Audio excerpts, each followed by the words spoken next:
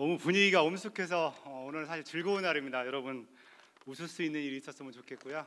저는 축사가 아, 여러분들의 엄숙함도 있지만 오늘 즐거운 날이 될 만큼 어, 좀더 우리 총장님이 방금 말씀하셨던 것처럼 새로운 축사를 한번 해보고자 합니다. 축사 중에 여러분이 잘 생각해 주신 게 있으시면 여기 제가 선물 가져왔습니다. 오늘 선물도 드리겠습니다. 아, 사랑하는 후배 여러분, 졸업을 진심으로 축하합니다.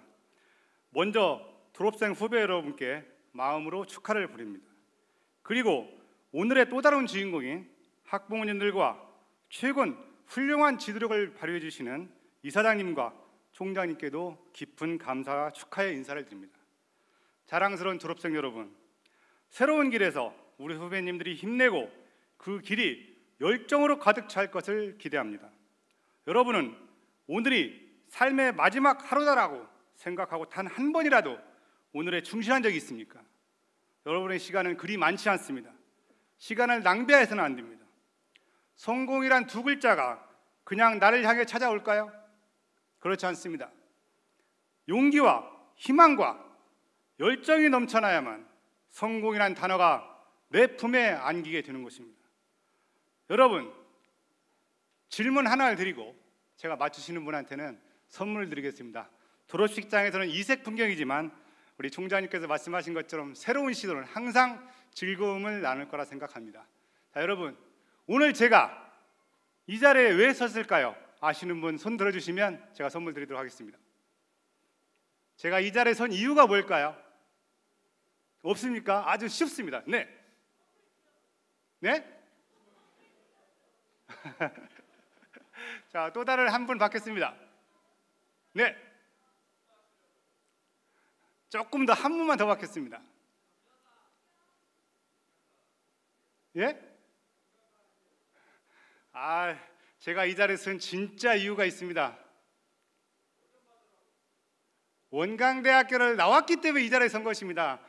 원광대학교를 나왔다고 생각하시는 답을 해주셔서 생각했다면 두 분만 빨리 받겠습니다. 앞으로 나오셨습니다.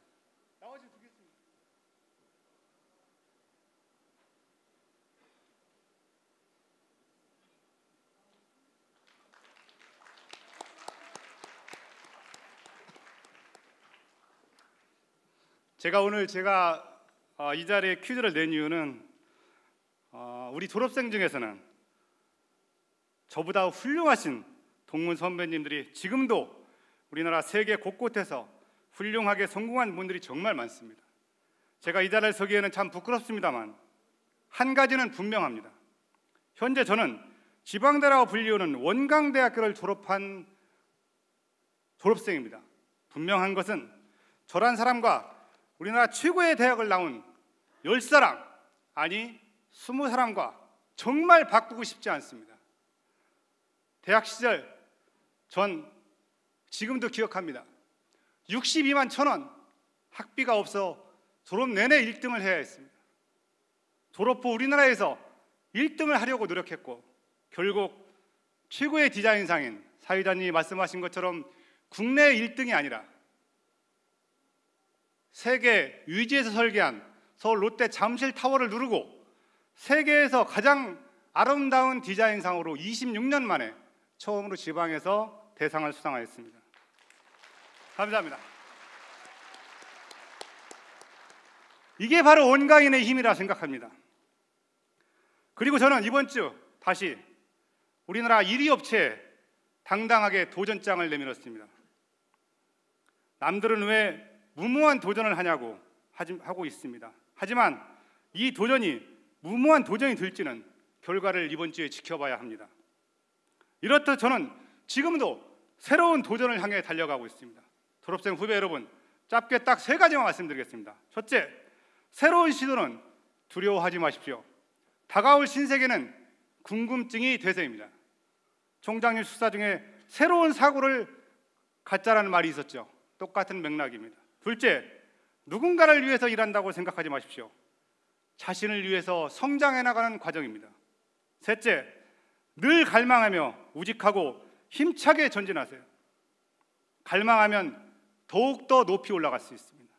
마지막으로 이제 막 졸업하는 후배님들에게 사회생활을 시작하는 사회 초년생에게 20대 여러 후배님들의 희망과 꿈은 30대, 40대에도 끊임없이 멀리 높이 올라갑니다. 우리 후배님들은 오로지 한 가지 직업, 한 가지 목표만을 가지고 살아갈 수 없는 현실 세계에서 열정을 가지고 힘차게 살아가시길 선배로서 힘찬 응원을 드리겠습니다. 감사합니다.